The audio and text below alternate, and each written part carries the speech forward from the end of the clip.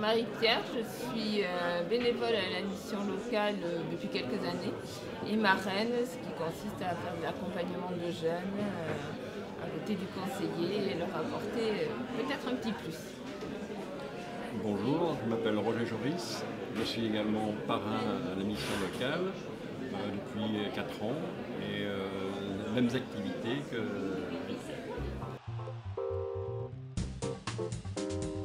Alors, sur le principe même, c'est le conseiller qui euh, parle aux parrainés qu'il existe une formule de parrain qui les aide à euh, soit euh, se, présenter un peu d'une manière différente et, s'habituer aux,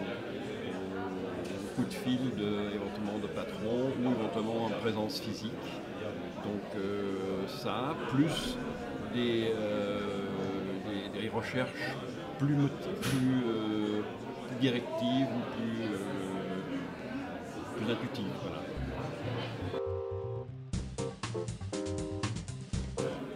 C'est là où l'intérêt du parrainage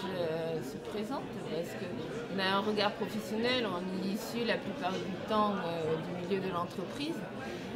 donc c'est un fonctionnement que l'on connaît, donc on apprend aux jeunes euh, à se projeter dans le monde de l'entreprise, déjà le lui définir et ne pas en avoir peur, hein, ne pas voir ça comme, comme un diable, et d'avoir une approche positive par rapport à ça, non seulement mais par rapport à la formation qui est nécessaire euh, au niveau de l'orientation, et dans le savoir-être aussi, qui est quand même assez important euh, chez les jeunes aujourd'hui.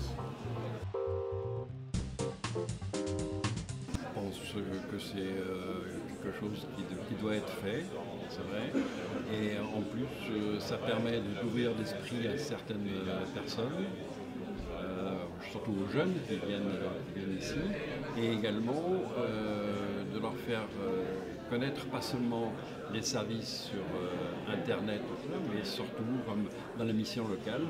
le parrainage qui est de plus en plus important et qui a maintenant les faveurs du gouvernement en place pour justement avoir euh, d'autres solutions euh, que l'épanouissement des jeunes.